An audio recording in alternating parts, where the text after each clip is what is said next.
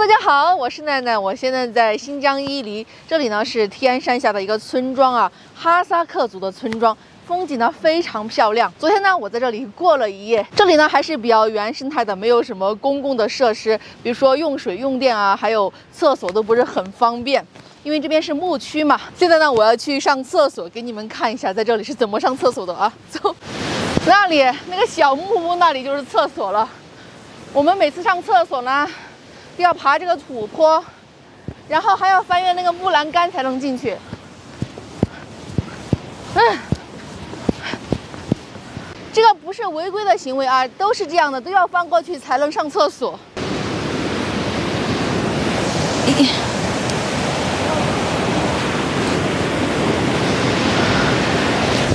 那个木房子上面写的男，写的女啊。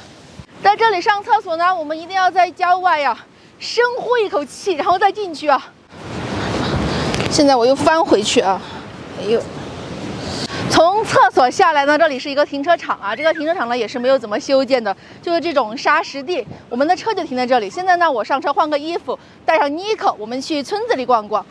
好了，现在我们去村子里，因为村子里是不能开车进去的嘛，所以车都停在停车场里边。这里呢，就是大名鼎鼎的穷库什台村了。这边呢，相对来说还是比较原生态的。你看它这边的配套建筑就知道了。我们现在就从这个桥走过去，这里呢就是进村子的入口了。先经过一座木质的小桥，这里有一条小溪，这样流下来，非常漂亮。根本就不用去国外了，在我们新疆就有这么漂亮的景色啊！小木屋，配上。蓝天白云，还有云杉树。这里的房子呢，全都是木质结构的啊，所有的房子都是木质结构。有的房子呢，历史比较久了，都有几十上百年的历史了。但是进来以后，我发现啊，这里的房子呢，全都改成住宿接待了。环境呢就是这样的，一间一间的。这里呢，本来是哈萨克族游牧民的房子嘛，但是现在发展旅游了嘛，增加收入，所以全部改成旅游接待。这里还挺好的，可以吃饭、住宿。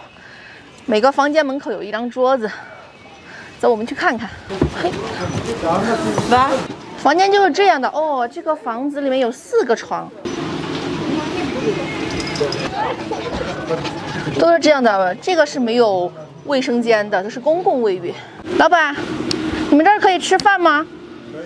呃，住宿是多少钱一间啊？几个人？两个人。六百八十八一间，多少？六百八十八。六百八十八是四个床吗？呃，四个床的也有。四个床的多少啊？四百八十八。四百八十八，两个人的那种贵一点是吧？两个人的没有。哦，那那六百八十八是哪种啊？哦，这种，嗯，六百八十八。哦，好的好的，谢谢啊。刚才问了一下老板啊，四人间的是四百八十八一晚。然后通铺的话是六百八十八，可以睡六个人。这边的条件啊，还有价格大概就是这样的。吃饭的话稍微偏贵吧，就是大盘鸡一盘是一百九十八，然后大盘羊的话是二百四十八。这里呢还有超市和商店。我们看到这些车啊，都是当地牧民的车可以开进的。那我们的车呢就停在外面。走吧，我们去超市帮猫哥买根烟，买根烟，不是买包。走，尼克。你要什么烟？烟比较少，有三种：兰州、玉溪，还有这是什么华子？哦，不是华子啊，这是玉溪，这是云烟。这里边还有卖蔬菜和水果的，我们拿个冰淇淋吧。冰淇淋三块钱一个，粉色的，好少女的颜色呀。嗯嗯，还挺不错的，因为我知道这边的奶制品都不错，所以说我放心的要了一个冰淇淋。爷爷，您多大年纪啊？这个是，嗯，这个是。我说您多大年纪了？我吗？嗯，八十一。哦，有八十一啊，身体还挺好的啊。嗯，您是一直生活在这里吗？嗯。哦，你们家是在这边吗？还是在山上啊？我那哦，我那那个人。哦，你们家在山上还是在这儿？在山上啊。嗯嗯。哦。是这样，因为山上都是毡房嘛，就是牧民自己的家。爷爷是哈萨克族的，谢谢爷爷啊，跟您握个手吧，谢谢，再见。这一排小木屋挺漂亮的啊，但是没有营业。这个小院子呢，就是哈萨克族是牧民的家了，这个就没有用来做成客栈。这个应该是一个磨盘吧。是不是毛驴磨东西的？哇，这里好漂亮啊，像一个森林。前面有小溪。骑马是怎么收费的呀？多少钱一个小时？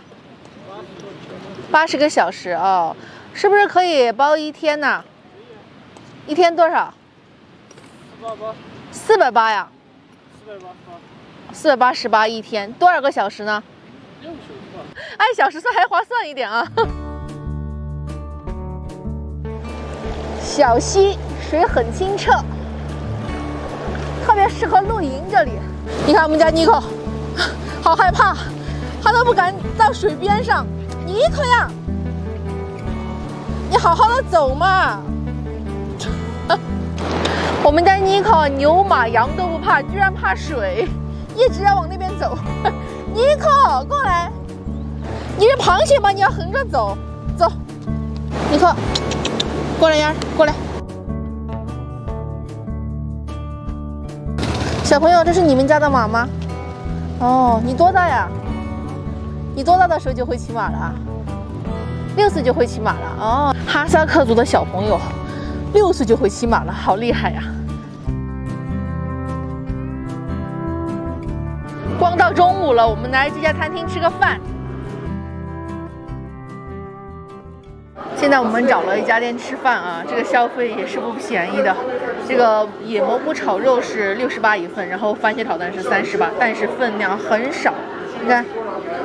巴掌大，因为我手比较小嘛。如果是手稍微大一点的男生的手头，真的只有巴掌大，一点都不夸张，很小的分量。景区啊是这样，没办法。但严格来说，它这里也不算景区，因为它的配套啊什么的也不完善。就这边风景很好嘛，所以说人来的多了，所以说就水涨船高了。然后米饭呢是五块钱一碗，一碗啊五块。其实很多人说啊，出来旅游你就不要计较这些了。其实我也不是计较这些，就是分享给大家啊，就是这边的物价消费是这样一个情况。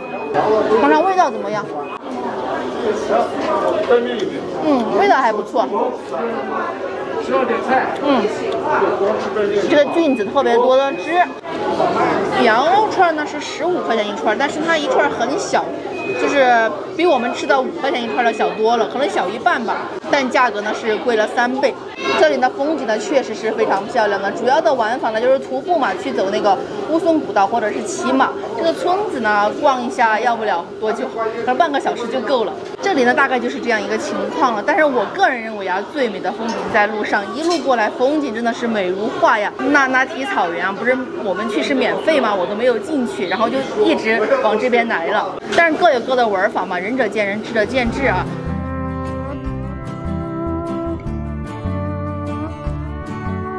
在山上看到没有？有点远啊，不知道看得清楚不？